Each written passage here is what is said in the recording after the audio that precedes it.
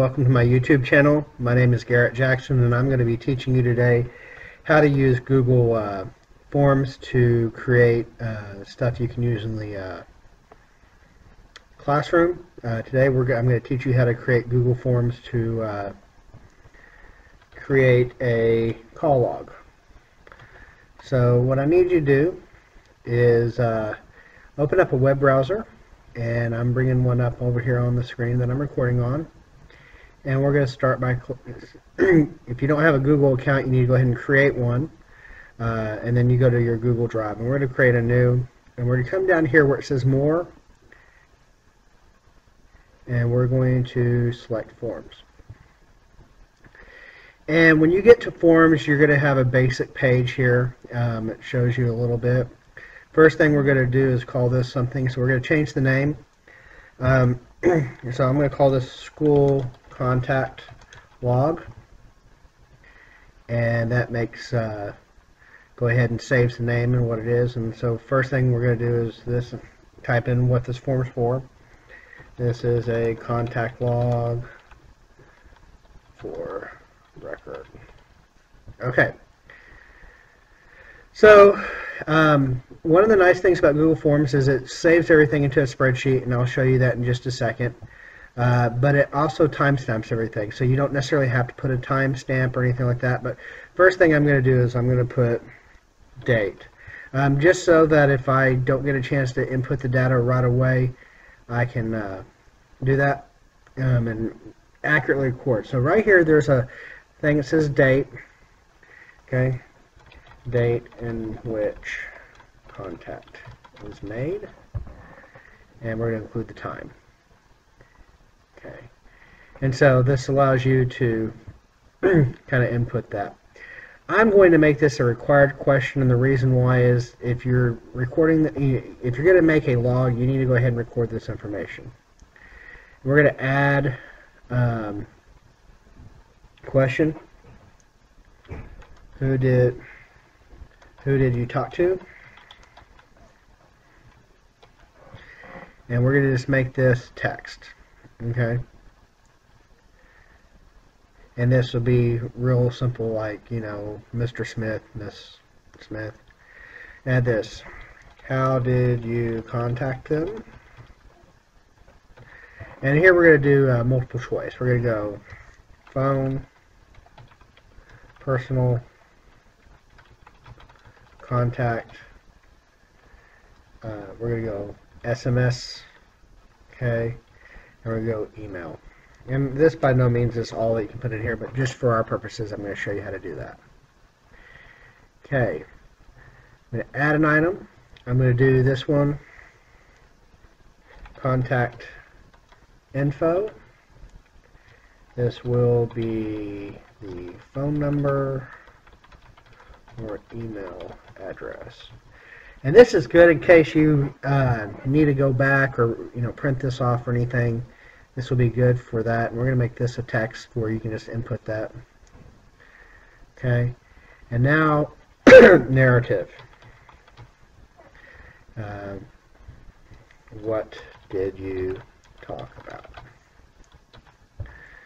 Okay, and we're going to make this one paragraph text. And this allows you to have a little bit more space okay, to, to write things that you might need to write. And we're going to click Done.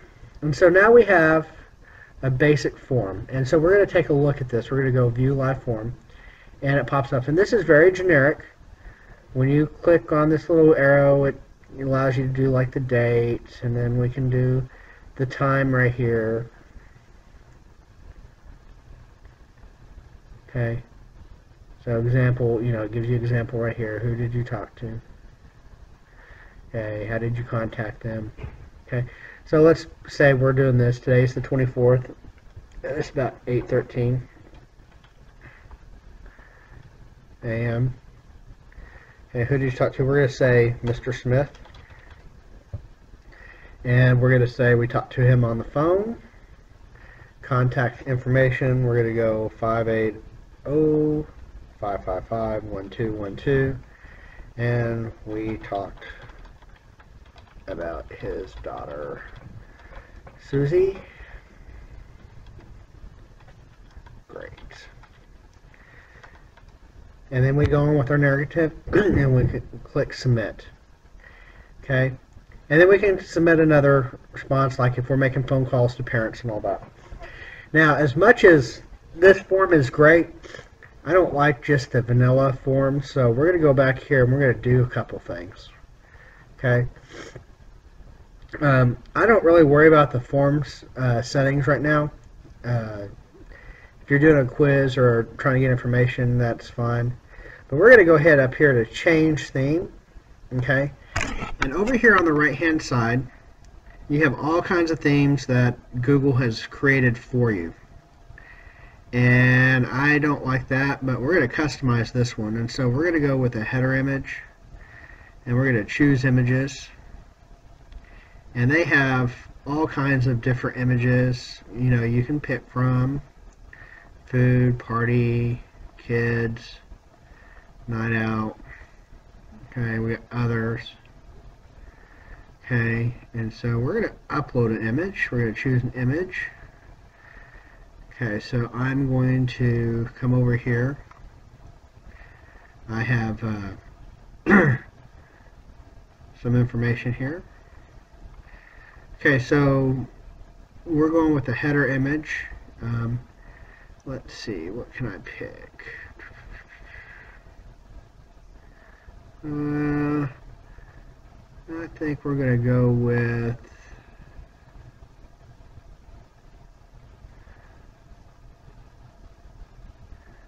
oh gosh just to make all these decisions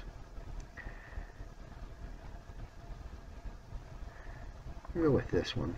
That looks nice. Okay so there's the header image. It's okay. I don't necessarily like that. We can fit it to width. There we go. Kind of brightens things up. Uh, title. Okay. Uh, you know, we're gonna have the text color. We can center that, make it real easy to look at. Description, that looks good. You know, questions, you can decide the colors, the help text, options, form background. I don't really mess with the form background so much, but page background we can do. And I'm going to change image, and I can choose an image. I like this one. Give you an idea what it looks like. So I like the red, white, and blue. Okay, so that kind of clashes with this one up here. And again, you can do whatever you want. So we're going to choose a different image. Uh, let's see.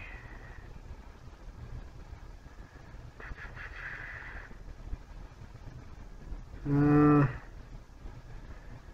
let's see what other photos I have. Got lots of photos.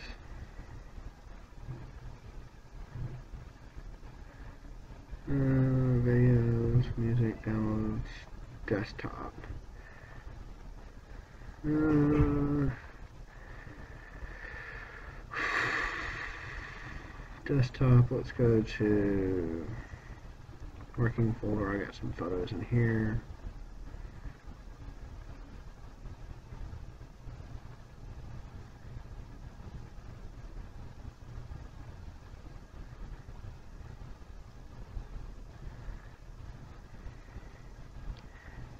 As you can probably guess, I have lots of stuff that I don't know what I'm going to do with. So, eh, we don't even need a funnel, so we'll, we'll just remove the image. And it looks just fine like that. Okay. And so it saves things automatically, so we can go to edit questions. And then we can go, since we already inputted some information, let's put another one in. So we're going to view live form again. You know, we're going to put another date in. Let's pretend we had one from yes, or from Friday. And I contacted them at like 7.20 p.m. Who did you talk to? And let's say James uh, Smith. Okay, and I sent him email and jsmith at email.com. Email sent reference. Uh, and it checks your spelling, of course. Email sent reference uh, his son's upcoming AP meeting.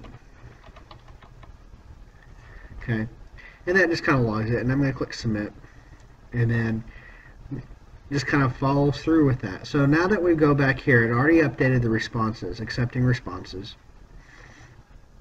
View responses is where we're going to go. And it creates um, a header row right here where all the information that is in your questions right here, and then it timestamps it. Okay, um, it timestamps it based on when you put it in. So the date could be any, you know, if you can go back three weeks, but it'll timestamp that for you. And then you have, you know, all this information, and it fills it in. Where this is really cool is you can do things like a uh, mail merge, or but since it's in a, a, document like right here, we can do it like a search. So if we're looking for a particular information, and that information is anywhere on the spreadsheet, we can find it. Like if one of my administrators calls me and said, "Hey, did you contact, you know, Susie's, uh, you know, dad about this?" And I can say, "Yeah, let me check my records," and I can, it'll pull up every time I talk to someone. And these by no means are the end all be all end questions. And this is not even I, the one I use for my own stuff. I have a couple other things that I put in there, mainly because I'm a uh, special ed teacher and stuff I need to keep track of. But the thing of it is, is this is something you can customize. And uh, there are other things you can do with this. So anyway, if you have any questions, um, I've put my email address up here on the screen um, for you, and I'd be glad to answer any questions you might have. Thanks for watching.